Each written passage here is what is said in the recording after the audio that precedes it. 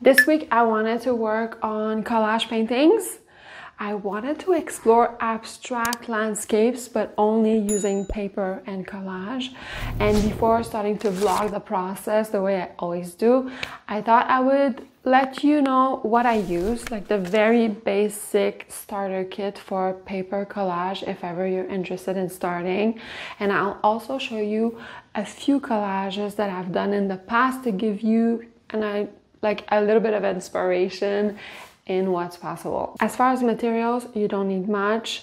The first thing that I would recommend would be matte medium to glue the paper onto the surface. To me, it's a lot better than a glue stick or any other materials. I've tried them all.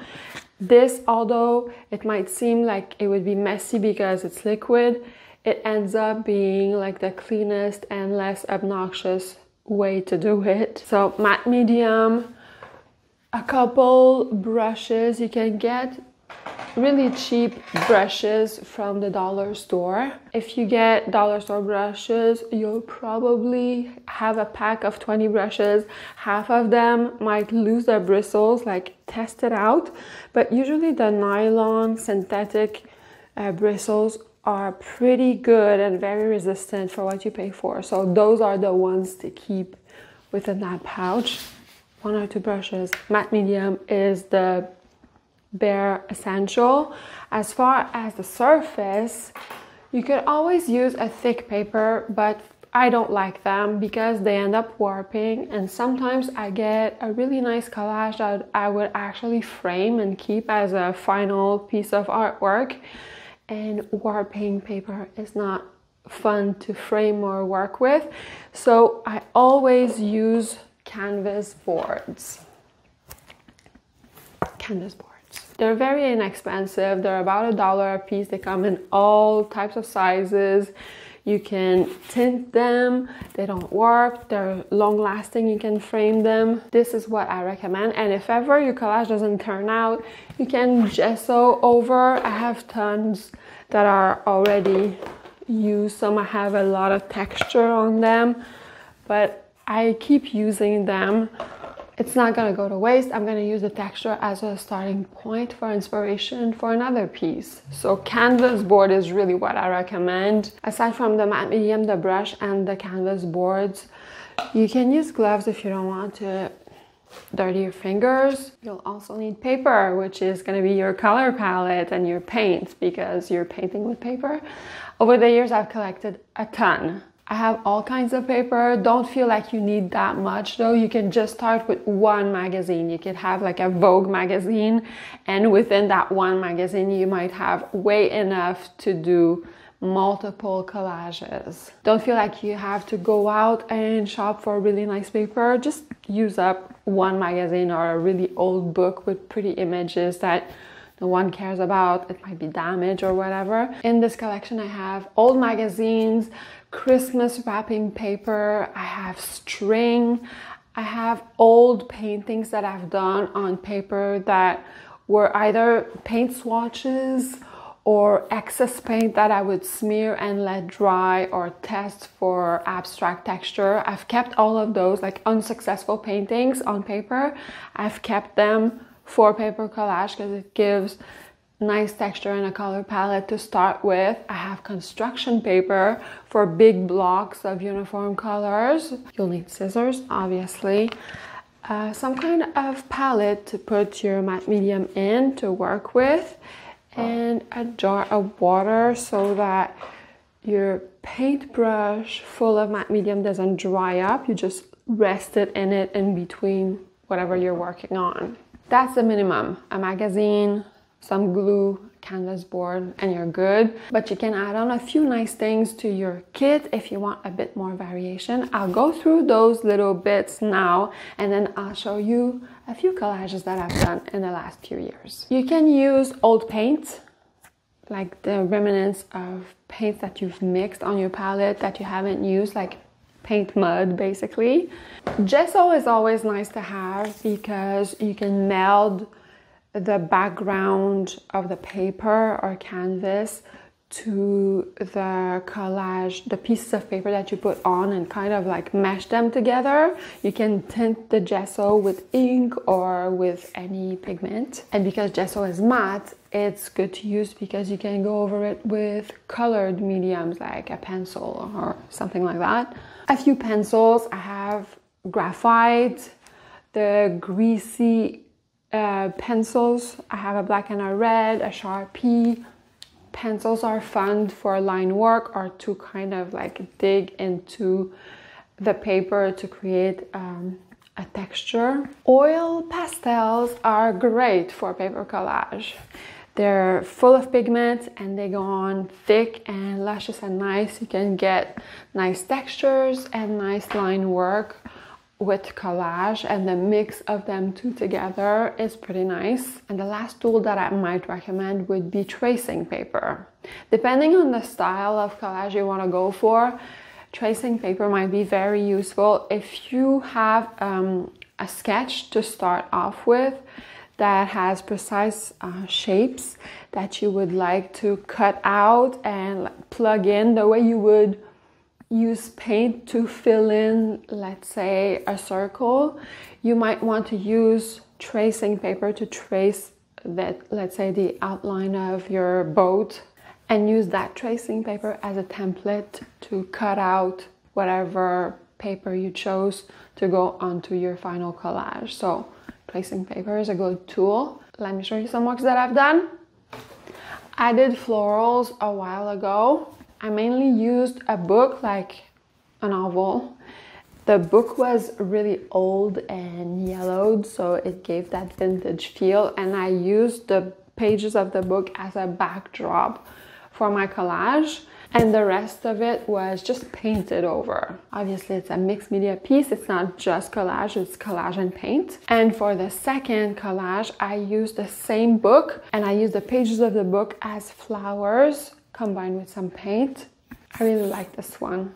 There's something very poetic about having flowers with pages from a book. On a more abstract note, I did a series a few years ago with like orbs, and this is part of it. So I started out by creating these textures on paper with paint. I could have used a magazine to cut it out, but I created my own textures myself. And I played around with different compositions with all those different textures. I did a, a little bit of line work. Oh, I forgot to mention acrylic markers, like Posca pens. It would be a great addition to collage uh, painting. I quite like this one. I like the splash of this paint here on this egg.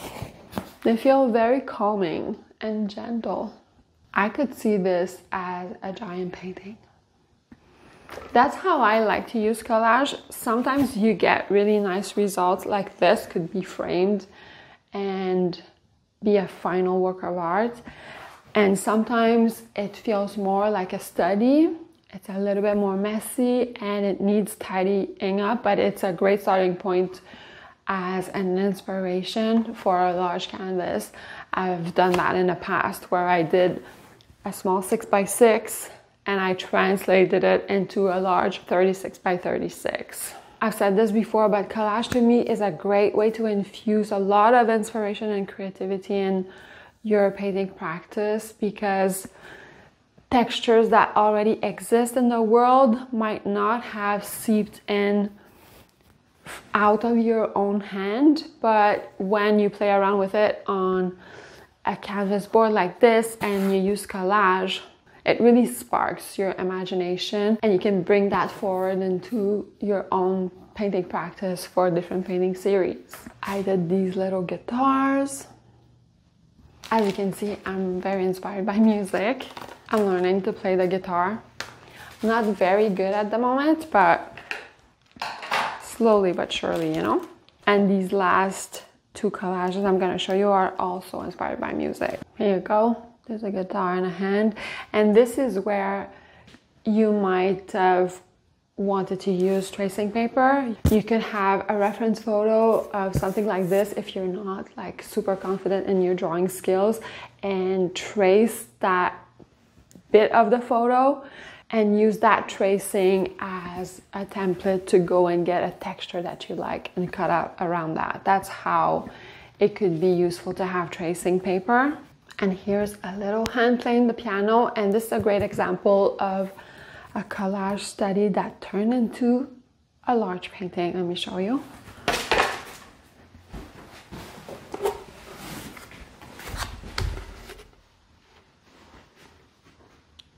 It looks different when it comes to the color palette, but I still used my study, especially for the black notes and having the colors peek through as a point of inspiration for this large painting. As I was mentioning this week, I think I want to work on abstract landscapes like horizons and things that are more abstract and working more with composition, placing shapes and interesting textures and color palettes together as opposed to having something more figurative. But who knows, I might end up with collaging a cat or something. Who knows?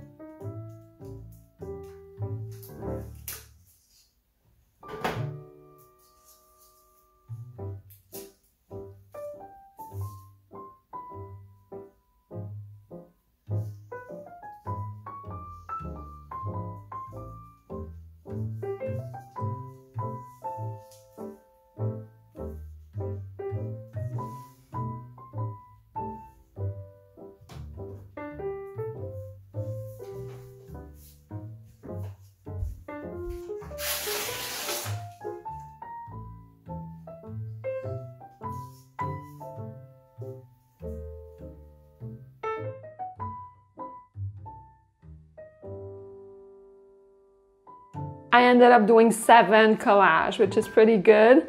Most of them are landscapes. I'll show you each of them with close-ups, but before we get into it, I wanted to show you what I bought. I got influenced. I was watching Sandi Hester's last video. She was doing her favorite art supplies of 2022. There's a few things in there that seemed interesting. I went to the art supply store and I got a few things. I'm gonna swatch them and then we'll look at the collage. She was talking about this Ivory Black by Derwent and I must admit that I tried it and it's very velvety. I think the most velvety black I've ever tried. It feels very good to play with. So loving this one. I got a few Prismacolors, none of which are directly recommended by Sandi. I just like the colors, so look, let's look at them. There's this icy blue. Loving this one. Bleu ciel pâle, sky blue light. And then we have a few neutrals here. Let's do this dark purple. It's a very nice plum color. This one is magenta. Lovely, very smooth. And um, and the neutral color. So this one is more like a brick color. It's pumpkin orange. It's terracotta. It's very nice, a very nice neutral it's halfway between brown and orange, I would say. It looks a lot more orange on camera, but in real life, it's more muted than that. This is really nice as well. The color is henna. Super nice neutral. It's like a very dark, dusty rose. Beautiful. And this pale color is called peach beige. I love this one. Don't know why they call it peach beige because it, it leans very much green. But it's really nice and there's a lot of pigment for such a pale color. It's very pigmented and this blue is super nice as well. Love these colors. For the very first time in my life, I'm trying water soluble wax pastel. Never tried this before. I only got this one color because I don't know if I'm gonna like it. I got natural sienna, raw sienna. Let me get a watercolor brush, see how it works with water. Oh my god, it, oh my god, it dilutes really well. Why haven't I tried this before, like before now? Wow, I thought I loved uh, watercolor pencils. This seems to be way better. It doesn't leave a residue. It melts away. Oh my god. This is a new discovery. This is genius to go like paint on location or bring as a small travel kit. This is an amazing discovery. If you want to paint in watercolor but you don't want the mess, Neocolor II water soluble wax pastel. This is amazing, amazing. There was a big promotion on my local art supplies. These were like $2 instead of maybe $5. I got two greens. It, they're Prismacolor Premier markers. They're double-ended, so there's a point and larger. This is a nice sage green, I would say. With the point, very nice. On camera, it comes up more saturated. In real life, it's a lot more neutralized, which is beautiful. Oh, I like this point. It's like a paintbrush. This is another green. Oh my God. This is super pale. Did I get a dud, like a used up marker, or is it supposed to be like this? I don't know. It's very pale. I like it. Hopefully it's not like an old marker that doesn't, that won't last more than a minute, but it's a, it's a nice pale green. The last thing that I was super excited to try were these watercolor brush pen. Never tried watercolor brush pens before. Got completely influenced by Sandi. So I'm gonna try these two. I got pastel blue and I got beige, beige, beige. Here's the beige one. Oh, the tip feels really good. Oh my god, I love the tip of this. Really nice. Oh, it's so delicate and nice. Love it. I wonder if you can activate it by with water if it's supposed to be watercolor brushes. Is it really watercolor brushes? I might just be inventing this in my mind, you know? It might not be watercolor brushes.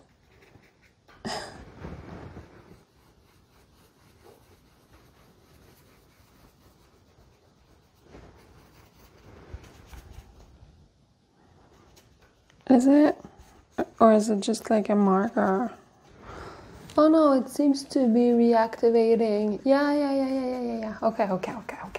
So it is watercolor brushes as opposed to a marker, which is, it's there and it doesn't move. So these move. Okay.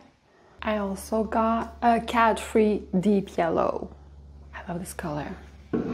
My very favorite is really that wax watercolor soluble pastel. Amazing. Love the black. It's Ivory Black by Derwent. Love those watercolor markers. If I really use them, I think I'm going to get more colors and I think they might be refillable. I think that's what she said.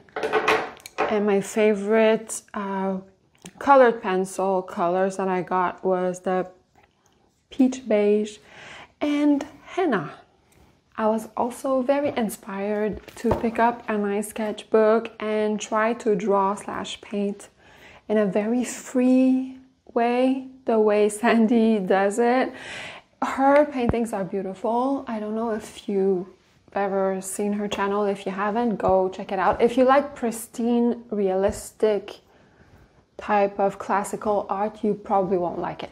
But if you like very expressive, free type of work, you will fall in love.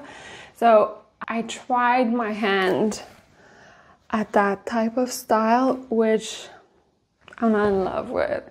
It didn't really work out for me, but it's a first attempt, you know? There's something so poetically beautiful about her paintings in the sense that you see that is someone that went with pure inspiration, spontaneously, expressively, honestly, without holding back. And it feels so like freeing and liberating. And I wish I could do more of it. So, this was my first attempt. It's not great, but I think I'm gonna try to work in a more of a mixed media, fast, curious, non judgmental way. I think it's difficult. It's a lot harder than one might think. It's that cliche thing where people say, oh, a kid could have done that. Mm, try it. Go try it and then come back to me. Now, let's look at the collage. For some of them, I used my imagination and kind of went only in color study and composition study instinctively in a more spontaneous way. Like this one, for example, I just created a lake with a, few trees and a skyline and mountains. I kind of like the result of it. It's very minimalist, we all know I like a good minimalist painting. I like it. I like the little dot of red on it. It's a sweet, calm collage. But I also tried to render something from a reference photo. I use this as a reference and I collaged this. This was really interesting because I had some nice paper that felt kind of like fabric. It was see through, kind of like tissue paper, but more uh, of a fabric tissue paper and I really liked working with it. And for this collage, I only tore paper. I didn't use scissors at all. So there's all these jagged edges and I used a bit of marker because in ripping the paper, it would create these white edges. I could have left it white, it was nice, but I decided to put a bit of dark blue in some of the edges, even some dark green to have a tree line. There's quite a few things that I like about it. I like a good ripped edge. I think it's interesting. I'm pretty happy with this one. I think it really renders the reference photos essence in a nice way. I wouldn't call it a minimal collage because there's a lot going on at the bottom. But if I were to use this as um, a reference for a painting, I would pretty much reproduce this entire section as is, but clean this a little bit. Have this a bit more minimal, less um, less trees or less movement at the bottom and keep a focal point here. I quite like like the sky and the mountain and the tree line. All this to me is really nice. Like you know? This one was done from imagination and I put a lot of layers of collage on this. I used a mixture of ripping paper and then cutting out some paper. It's not one of my favorites, but I have to say that I really like the sky here. But I think that the sky mixed with the the bottom part, they kind of fight each other. It's a little too busy. If I had done something very like streamlined here, it might have been nicer or vice versa, like a non-busy sky. But I think the most interesting part about this is the top two thirds, in my opinion. I like this little lake, but you know, yeah. I'm gonna save the two best for last. The two best to my eye. Here's another study of shapes and composition and colors. I really quite like the color combination here. Minimalist. Love it. Love the blue and orange with the black and white. Is this a landscape? There's a sun. There's some clouds or a sky. David says this looks like a waterfall. I'm gonna call it an abstract landscape at sunset. What do you think? The last two are here and I don't know which one is my favorite. Oh. I'm gonna say this one is my favorite. David's favorite is this one. So you might recognize it because I used one of my latest landscape paintings as a reference to reimagine this collage. Usually I use collage as inspiration for paintings. I just decided to go the other way. Just out of curiosity, you know, try things, see what works, discover new things. I have to say that it's very successful in the sense that I was able to render a very convincing landscape based on my painting. So I'm really happy with that. And this is the one that I showed you with the technique of using tracing paper to trace the shapes I wanted, then stacking a bunch of paper. That's what I filmed and I showed you because it was the most intricate kind of technique that I used today.